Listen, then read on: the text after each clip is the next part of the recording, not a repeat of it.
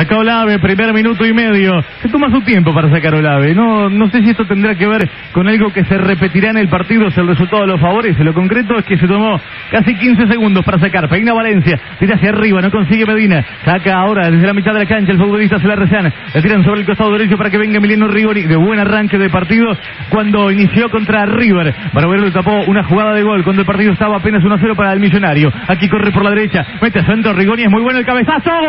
¡Gol! ¡Gol de Belgrano! ¡Gol de Belgrano! Julio, Julio Furch, sí señores. Entró sobre el centro del área para meter el frentazo, lo agarró dormido a central. Un desborde de Rigoni que había arrancado formidable contra Rigger y aquí repite la situación. Fue hasta el fondo de la cancha, Rigoni metió centro y la cabeza de Julio Furch dentro del área chica hizo imposible la estirada de arquero Caranta, la pelota le pasó entre las piernas. Belgrano se pone en ventaja de arranque nomás, dormido el canalla a despertar. Gana Belgrano 1 a 0 en 2 minutos 30.